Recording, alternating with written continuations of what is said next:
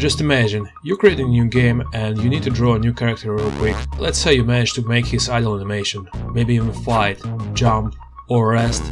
But now it's time for him to get up and walk, but unfortunately you don't know how to draw animations longer than one frame.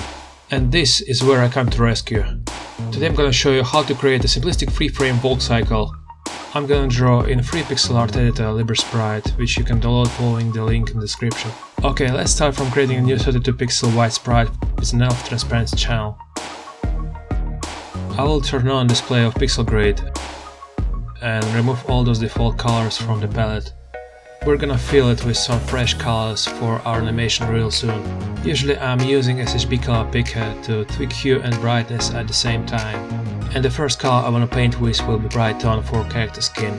I'm turning on the pencil tool and start drawing his head. First frame will be for an idle state of our character. This is when he's just standing waiting for something. I'm pretty sure you won't have any trouble drawing that. Of course you can take a few simple colors and start sketching out silhouette of our character and then narrow down to adding more details. Next I will take a black color and outline its head to make it more sketchy and sharp. Now let's draw his blue tracksuit. I'm opening the color picker and getting me a bright blue color. First I will draw a silhouette of his jacket. It will be much easier if you take a moment to memorize shortcuts for most frequently used tools. Personally for me these are pencil tool, eyedropper and paint bucket tool. I'll also outline his tracksuit with a black color. You can also try starting from drawing basic shapes, but uh, sketching outlines for your character and then filling them with some color. Let me show you real quick. This time I'll start from drawing outline of his legs and then I'm gonna fill them using bucket tool. I'll make his sneakers white, however not totally white but with a slight shade of blue. To add a new color to the project palette, you need to click on that red exclamation mark in front of the color picker. Now I take the same white color and make it darker to draw some shadows. I'll do the same with his skin color. I really need a darker tone for shadows, I'm planning to add these corners to smooth them out. Now let's go down to details and draw his face. I take the same skin color and make it darker and more saturated in SHB editor. Now I'll draw a frowning mouth with even darker shade of skin color and make his eyes dark brown. I'll add one more color, this time for shadows on his tracksuit, and I'll draw around corners where we may have some cloth wrinkles.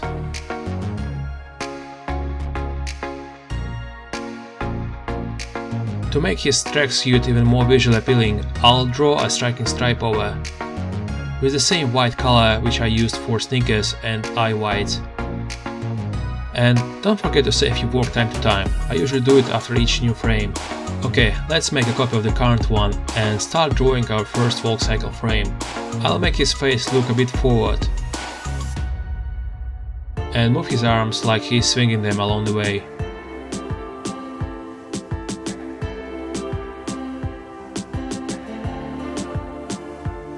I'll also put his right hand to the pocket.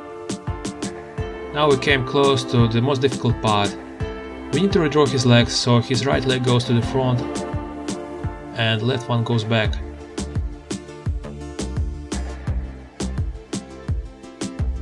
Don't forget about the shadows. During walk cycle one leg is placed in front of another one, so we need to add some shadows right there. And let's bring that white stripe back. Next frame.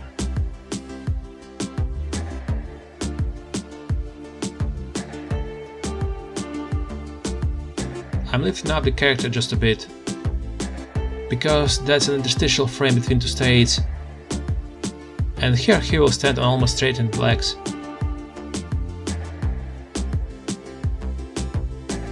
I'm straightening his right leg and it will cover the left one like on the previous frame, however not brought out to the front like it was before.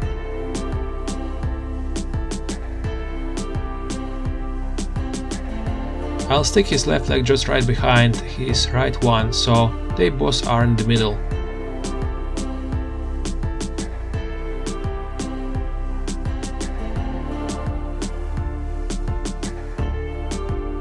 Now we can use arrow keys to switch frames back and forth to see what we've got so far. And finally the last frame.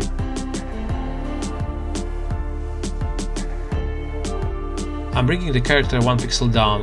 Now I'll erase his legs.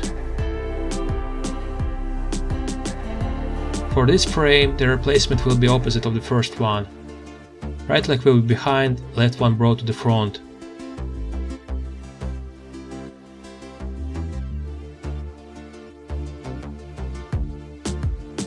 Bringing back the shadows and white stripe. Now let's play animation to see how it works. I'm using arrow keys to switch frames. We can turn off that pixel grid to see our animation real clean.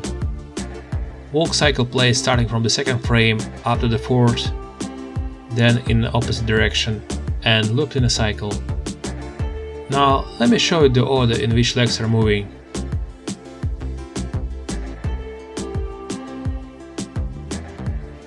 Let's take a red color for demonstration purposes and mark his right leg. And now green color to mark his left one. Let's do this for each frame. Red color for the right leg, green color for the left. Which one is which you can easily test on yourself. Just try to remember where is your right hand. This is the side where your right leg should be.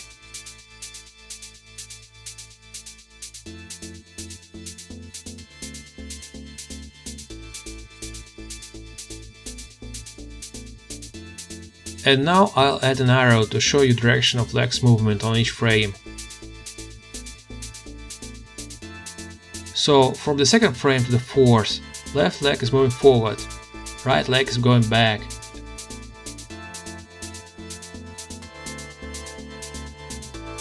Character also moves up and down when stepping over between these two leg positions.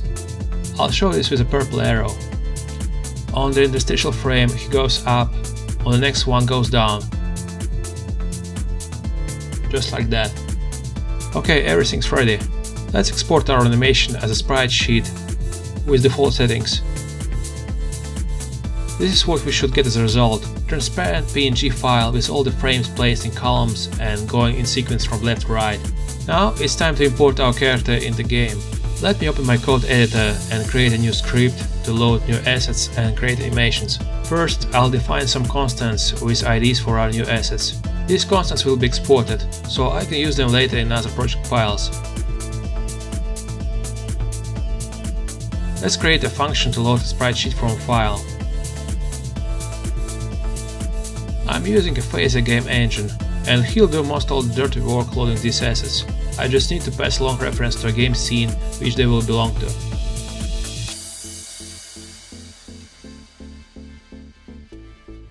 And also function to create animations for this scene when all the assets were loaded.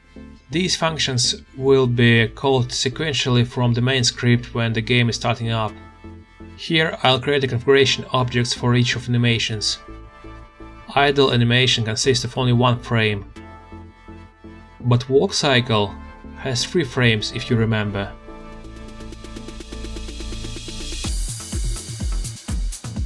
This function is generating a list of frames for the game engine to understand. So animation goes like this. And back. I'll add returning to the second frame and make it repeat itself with a frequency of 6 frames per second. And finally, let's write a function which creates a new character sprite. This function gets reference to the scene and new sprite coordinates as parameters. Adds him to the scene and starts playing an animation we just added. In the end it returns the sprite so we can pick it up and work with it. This is how it looks inside my game. I can show you more things about game development. Just drop me a note in comments down below what things you find difficult. So have a nice day and don't forget to like and subscribe if you want to see more tutorials like this.